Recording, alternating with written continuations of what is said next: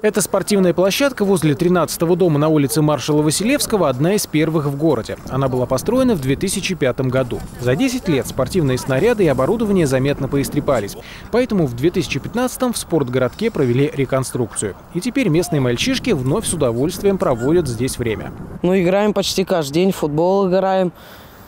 Ну, так, по воротам попинаем просто. Ворота вот хорош, хорошие, большие. Сейчас ну, песка сделали побольше, поудобнее было. Ограждение получше стало. До посещения спортплощадки Александр Кузьмичев и Игорь Шипков совершили прогулку по внутриквартальным пешеходным дорожкам. Во втором избирательном участке их сделано четыре. Это тоже стало частью инспекционного рейда. Еще совсем недавно это были просто натоптанные тропинки. Кратчайший путь к детскому садику и двум школам.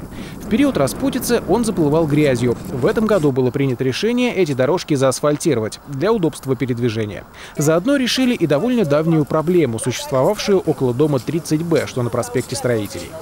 Там была довольно застарелая проблема. Там э, существует колодец ливнеприемника, но он не работал из-за того, что сама, э, сам э, ливневый коллектор был на достаточной степени забит. И в этом году были выделены средства, и данный коллектор э, был промыт. К сожалению, пока не до конца, но тем не менее уже то, что сделано, позволило э, начать работать этому ливнеприемнику, и лужа уже не стоит.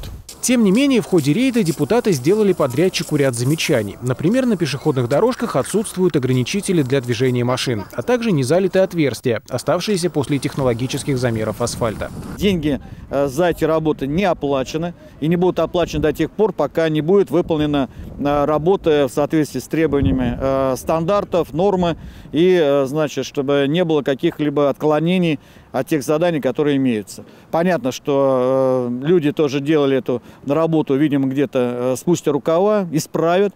Мы сюда еще раз вернемся, и уже будет приведено все в нормальное состояние. Работы по асфальтированию дорожек продолжатся в следующем году. А в этом подобные инспекционные рейды Александр Кузьмичев обещал провести во всех избирательных округах.